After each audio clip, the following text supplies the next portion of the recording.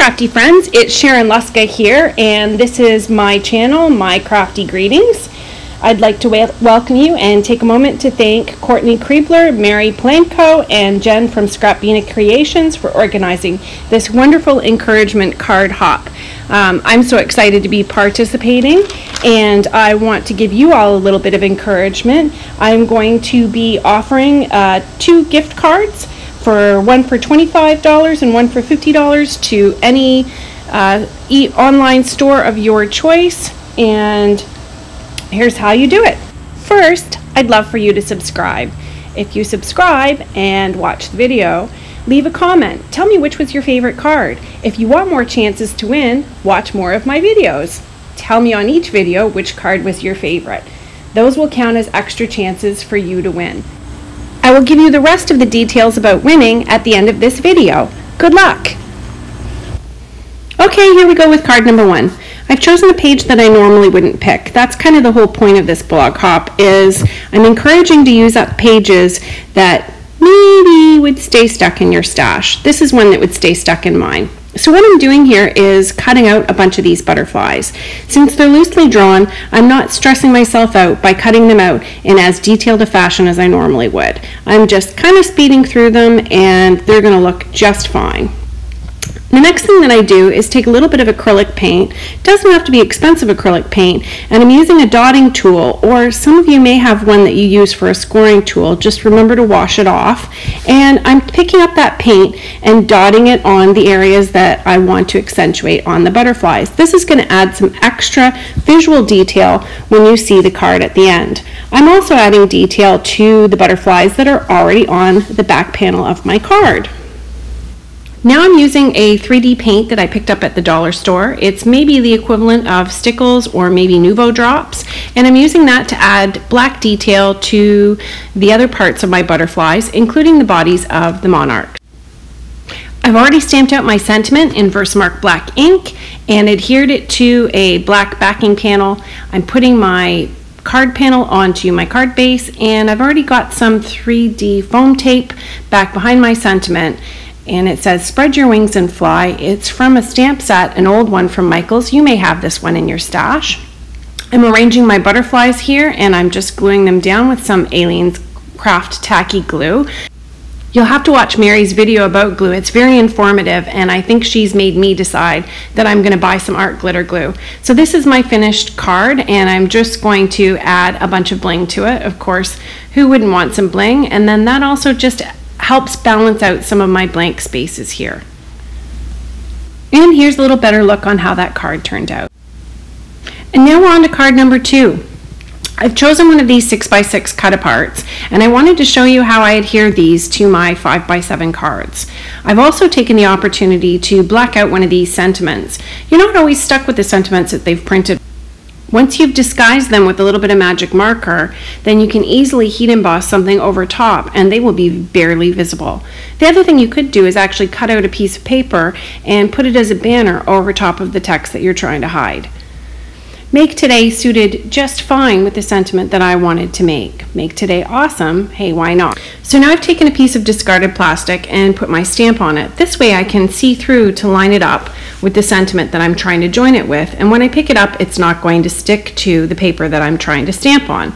I'm using some Versamark ink and I'll be embossing that with some gold embossing powder by Ranger that I had in my stash. I also used the awesome stamp from a Kelly Creates stamp set from American Crafts. I've cut myself a piece of vellum that's 5 by 7 and I'm going to be adhering that to my card base. I also cut myself a circle out of this piece since it's going to be hidden by my sentiment as I'm using it in the structure of the sentiment itself. I cut this 6 by 6 piece down the center and I'm just going to be overlapping the two pieces as I reassemble them and make them 5 inches wide. So here's where I got into some trouble. In true crafty chicanery, I went ahead to try and glue this together, and as I'm lining it up, things just didn't line up properly and it stuck anyways and boy did it stick so i had to rip it apart and i decided well i'll line it up on the heavier cardstock first and then try and get my sentiment piece on top Vellum is always the toughest thing to adhere as the base piece, and I always seem to forget that I should adhere it to something else first and then put the other piece of cardstock over top. Also, if my piece is big enough and I'm using foam tape strips, I like to adhere one in the middle first and then sneak back behind and pull out all the protective strips from the rest of them. This helps with my alignment and makes it a little easier to stick down. So here we go with card number three. I picked myself out another one of those six by six card bases. It says free spirit, and I never know what to use something like that for, so I'm just gonna cut this free off.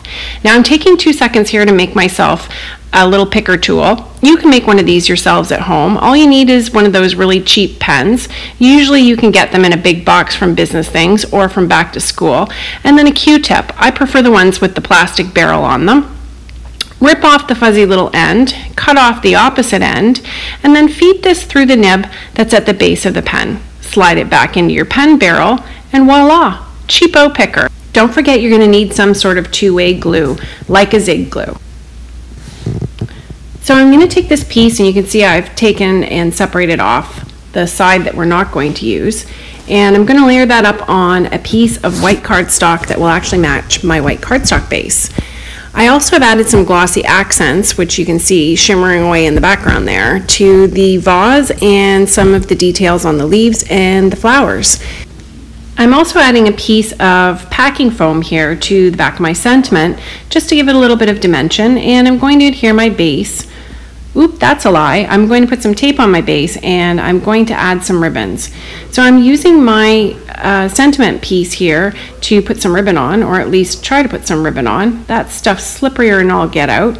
And I wanted to put three pieces and line them up so that they hit approximately where my sentiment's going to be.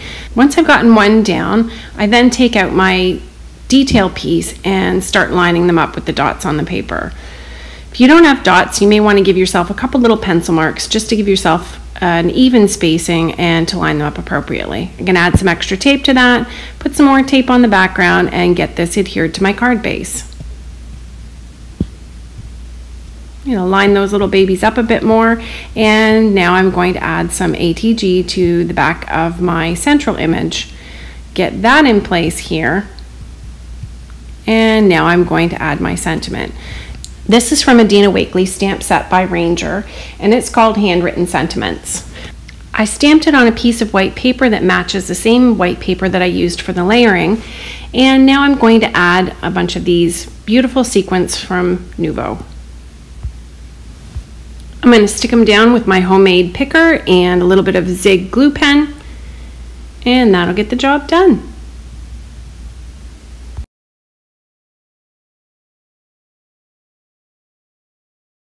Okay, here we go with card number four. I'm getting a little less nervous now, and this is a simpler card. This is a couple of cut aparts, one that I've cut out with a circle, specifically the BU sentiment, and I've backed that with a circle of Neenah Solar White 80 pound cardstock. I've also cut out a layering piece for my Shine Bright sentiment card apart here, and I'm adding that to the back, as well as a layer of my packing foam sheets which you can cut apart very, very easily just by bending them over and giving them a snip and putting a little bit of ATG on the back. Well, obviously you can say I tried to put some ATG on and had a little bit of fun in the process. I'm adhering a piece of this ombre paper to my 5x7 card base and I also have cut myself a strip of the gold foiled black paper, dotted paper, which I'm adhering down. And I have my cut apart there and my extra sentiment. I tried to stick a little bit of that uh, foam on the back and you can see, man, I got this sucker crooked. So I just peeled it off and stuck it under where it's supposed to be. And hopefully this will give me a chance to line that up properly and legibly. And it did. And now I'm going to take some glossy accents and I'm just going to highlight the bright on the front of the sentiment here as well as BU. And um, unfortunately, at home in Canada, because we're in Myrtle Beach right now, I have a little bit better tools. I actually have a tip on my glossy accents that gives me a really fine detail and allows me to go over letters a lot more easily. Something I do recommend. But, you know, honestly, this is like loosely written and I don't think anybody's going to care. You know, they're such pretty cards, and I think it's so nice to get something like this from a friend. Okay, here's card number five. This is one of those big daunting sheets that I always look at and think, what the heck are we supposed to do with that? And I know they say they're great for scrapbooking, but if you're going to put pictures on there, where do you put the pictures? I don't know. Anyways, Dream Big seemed like a sentiment that was very encouraging, so I thought I'm definitely going to use that. And then I went ahead and cut out all these details um, so that I could use them on the card. And uh, this butterfly had uh, the petal of the flower on it, and what I did was just fold it in half and matched it up. I think I did a pretty good job. And I'm using these Sculpey tools uh, just to help um, give these pieces dimension. Now you could also use cake decorating tools. I don't know if they have cake decorating tools at the dollar store yet, but that's the first place I'd check. If not, um, try Home Goods and uh, see if they've got something there. Or if you're in Canada, Home Sense, which is what we have. Um, but cake decorating tools work fabulously, or you can get the Sculpey ones at Michael's. And it gives you a few different balls that you can use to give some dimension to these pieces. And I find that it gives them just a whole lot more interest than just your flat pieces. And if you look at some of the cards at the grocery store, uh, you'll see this is something that they do obviously with a machine, not hand done like we do, but then they don't sell hand done cards like we have. So um, just pick out some of your darker spots on your flowers and you know, give it a try. The worst thing that can happen is you add some dimension where you don't want it and then poke it around a bit more and see if you can get the dimension where you do want it. Leaves are pretty simple though. I pop out the edges and then I always go after the um, central veining and use the finer tool just to give them a little bit of an indent. Honestly, as card makers, you know, the most important thing is to encourage each other and really just to try. The worst thing that can happen is that you cut some things apart and maybe you don't like them. Throw them in a box. You might pull them out later and find that there's something actually cool. I have many times tried to make something and didn't go my way, put it in a little baggie and set it aside in a filing system that I have. And later I came back to it and um, I don't know whether Mojo was just on my side, but uh, or I guess it's Muse, not Mojo. But anyways, whatever was on my side, something was on my side, and I was able to put a card apart. Um, I'm just going to cut out this G here because it's hanging over top of the sentiment that uh, I wanted to use. And uh, I thought Dream Big, Go Forth and Conquer was pretty encouraging. Eh, what do you think? Yeah, that comes from a Hampton Arts uh, stamp set there that I just put up in the corner. And um, I'm going to add a little bit of gold detailing here to the edges. That's just some gold foil paper that I picked up at the dollar store. Um, look back in the area. Um, I think they have like office supplies and things like that. Usually around Christmas time, they'll have packs of foiled paper, um, I think for making signs or whatever. So I'm just going to back this. Uh, it's on Neenah Solar White and uh, I've stamped it with Versamark black ink and um, backed it with a little bit of black paper and I'm going to line this up on my 5x7 card base, just flat, and use a little bit of Zig glue pen to make sure that that G doesn't go flapping around.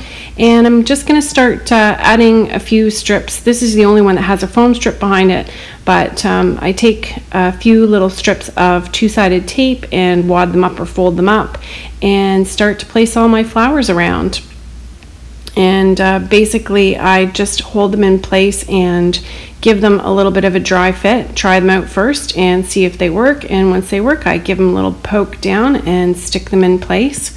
Uh, once you've done all the fussy cutting on all of the I don't know what do you call these drawings or you know images? I guess they're images. Once you take all the images and you get those all cut out um, you know, you can get them all plumped up and make an arrangement. And then I've also taken some of this 3D uh, black uh, Nuvo-like product and I'm just going over some of the black details on the butterfly and the flowers and adding some um, stuff in here adding some detail in here um, just to make things stand out. And specifically on the body, I'm just going over everywhere that's black and doing it very loosely as this is very um, sketchy, loose style images that are in this pad, which is nice because when you pick something that's, you know, very perfect and very specific, you need to be a little more specific in the way you do things. But if you pick out something that's a little more loosely drawn, um, you know, you don't have to put yourself through so much stress making things perfect, perfect. I'm taking my glossy accents and just going over the white to make it stand out a bit. And then I'm also going to add that to a few of the flowers and anywhere that you have um, any type of dark printing on paper and you go over with uh, glossy accents, it's actually going to make it look darker. So you can add some more dimension to um, any of your projects by doing this. So things like leaf veins or, you know, any of the dimension deeper inside flowers, um, you know, you can, it's a great technique for adding adding to that. And again, you know, take your glossy accents and just go nuts. Or take a piece of paper that you don't necessarily like and give it a try. Okay, we're already on to card number six, and I have to say, this one, the video, I don't know what happened. Sometimes it's hard to pay attention when you're recording, whether you push the button, didn't push the button, whatever. But I took a card panel here and a piece of vellum. I etched the vellum with uh, some thin gold tape that I had, and um, I'm just had put some um, packing foam behind the vellum to pop it up and I also put some packing foam behind my Neenah Solar White strip that has the stamp done in Versamark black ink and it says you shine brightly. A very encouraging sentiment. And this is uh, one of the cut aparts that I added on as well as putting glossy accents over the butterflies. Sorry that was so short but still get the point. Card number seven one of the nice things that I love about this packing foam is you can lay it down over top of a fussy cut image, trace out where you want to cut it, and then drop that puppy on there, and it will fit beautifully. And uh, that's what I did here. I found a piece of um, ribbon that was in my stash. Of course, it came off of some packaging somewhere. I do really like to reuse stuff. I have a pair of cheap scissors here because there's wiring in this ribbon and as I fold it in half to put the V's in the ribbon, I don't want it to wreck my good scissors. Now I'm taping this down in my stamp positioner and I've added a little B perfect positioner so that I can line things up and I'm also using just a scrap piece of paper um, as well to make sure that I have my stamp straight and this is the Dina Wakley um, handwritten sentiments uh, stamp again and I'm doing two lines. Sometimes when you try and add two stamps together, they're going to bump into each other and make weird spacing. And simple solution, stamp one right after the other. I'm doing this with my Versamark uh, black ink. I had also added glossy accents to the flowers and then adhered that on the gold dotted card base. Thank you for joining me. This is my first blog hop and also my first giveaway. And I have a few rules. I need you to subscribe if you like my channel, as well as leave a comment. If you want extra chances to win, leave more comments on my other videos. I'll count those as extra chances. My contest closes August 20th of 2019 and the winners will be announced on the YouTube video on this channel August 23rd of 2019. Winners must contact me and online store chosen must be an established North American craft supplier that the gift cards will be awarded to each of two winners, first place being $50, second place being 25.